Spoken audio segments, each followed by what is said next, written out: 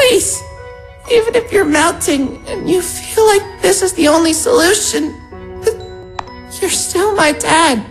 Technically, the only family I have left. So please, please don't throw your life away like some piece of trash just because you failed. You're a scientist, for sake. There's always more than one option. You of all people should know that.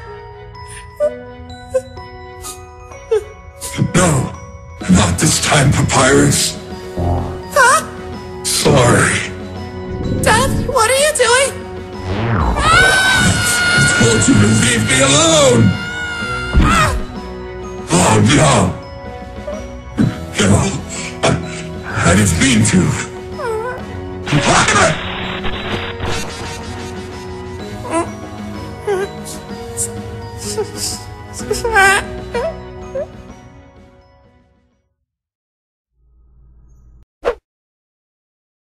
Welcome to Undertale Comic TV.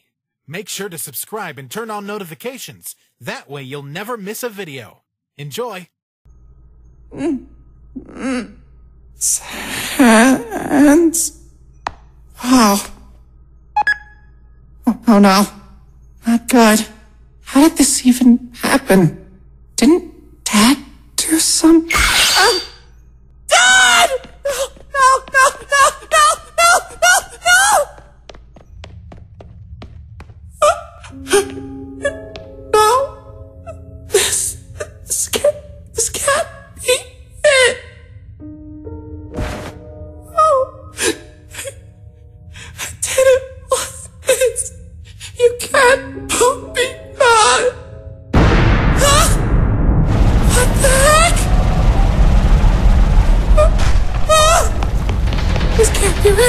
This can't be. This can't be real. This can't be real. This can't be real. This can't be real. This can't be real. This can't be real. This can't be real. Wake up! Wake up! Wake up! Wake up! Wake up! Wake up! Wake up! Wake up! Wake up! Wake up! Wake up! Wake up! Papyrus, please wake up! Wake up. Papyrus, Wake up. come on, Papyrus, wake up! Oh, kid, it's just you. Uh, kid? What, what are you doing? Good jeez, kid! Frisk! Frisk, what happened? Are you hurt? Please tell me.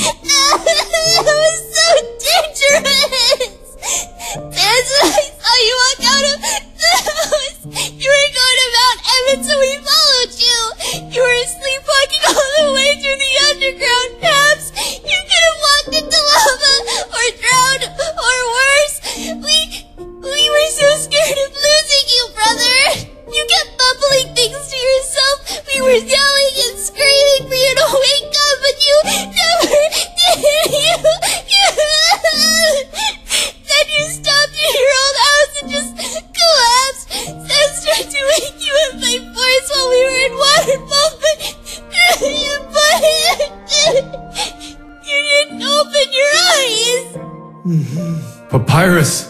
Hmm. Is that when. I guess it doesn't matter. What matters is. I'm finally home with my family. It's okay, Frisk. I'm okay. Don't cry, human. I'm here. There's no reason to cry. Aren't you crying? Yeah? I can hear you sniveling. You're crying. Of course not. The Great Papyrus never cries. hmm? Oh, Sans! I was just wondering where you were. Don't worry, Paps is fine. Hmm, I didn't see you come in. Oh, wait! Shortcut, right? Yep, I was just outside, kiddo. Good job, kiddo. I'm glad you got to wake him up. So, are we gonna go home soon? Cause I'm bone tired after this.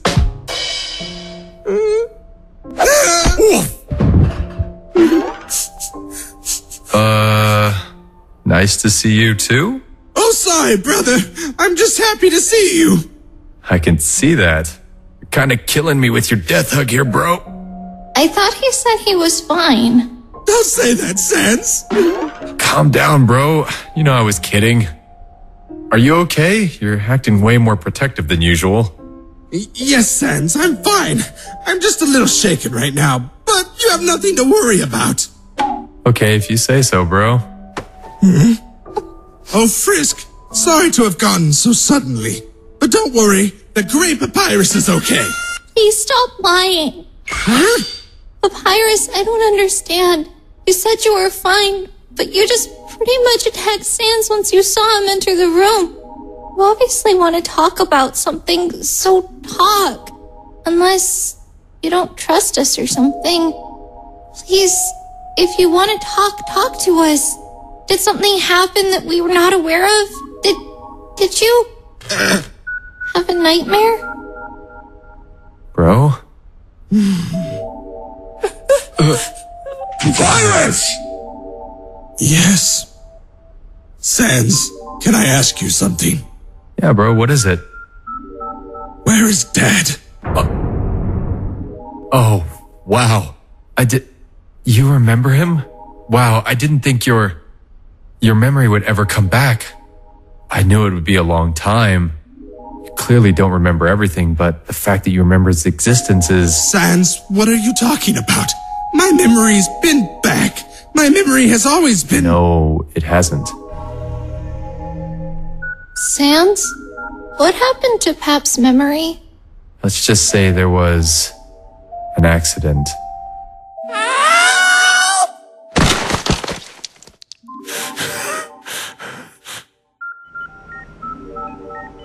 After that, you had pretty bad amnesia. Still remembered your name, remembered me, and that we were brothers. But nothing from before, not dad, not the surface, not anything.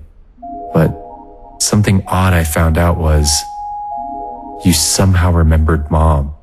Mom? Well, you knew that she existed, and the reason you have her scarf. Wait a minute. Where is my scarf? Where did it go? I was wearing it. When I went to bed, where did it go? Where is it? When, when did it fall off? When did it fall off? This is what you're freaking out about? Don't worry, Papyrus. I think I saw it in Waterfall. I will go and find it for you. I am determined. I will be back soon. You two talk. Uh, Pap, are you okay? No, I'm not. Why didn't you tell me sooner, Sans? I mean, I understand if you didn't want me to remember bad stuff, but why didn't you tell me about Dad? He wasn't, was he? I mean, why wouldn't you tell me that I didn't remember? Pap, is that what your nightmare was about? You know you can tell me, right? Everything is fine. Uh-huh. Whoa, Pap, when was the last time your eyes glowed? I, I, I don't know, but yes, my dream was about Dad. But that wasn't the entirety of the nightmare.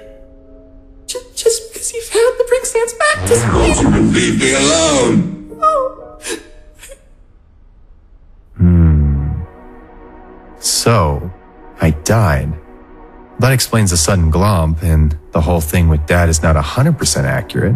First off, you weren't five in the event. From what I remember, you were almost 10. Secondly, the house didn't burn down. We got evicted for some reason. And somehow, you made him more calm in your dream. He was almost going insane in real life. Well, that is until. until. until.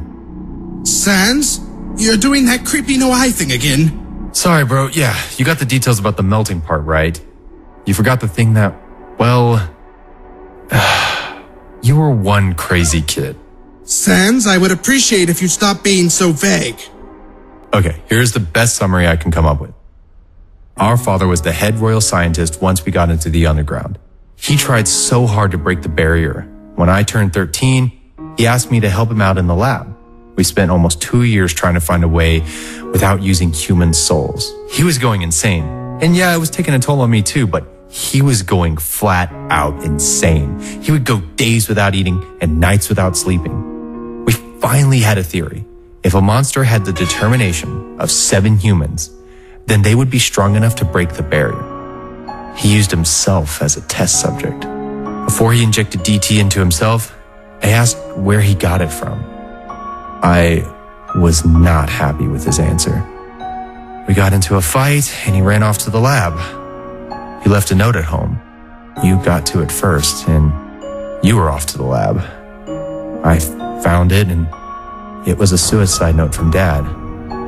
I ran to the core and saw you trying to help our melting father from the edge of the core. You lost your footing and almost fell in. He was able to grab my hand.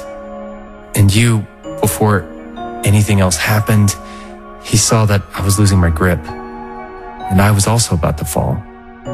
Then Dad looked at you and said, Take care of your brother for me. And then he threw you up to the ledge and let go of my hand. It's all starting to come back now. To think you had that engraved in your memory for so long. And you, you dealt with it all alone. Because I couldn't remember. I could have saved him. Saving you, I, I, I could have saved two lives. But instead I destroyed them. I wasn't strong enough. Why couldn't I save him? Why did I have to lose my memory? Why?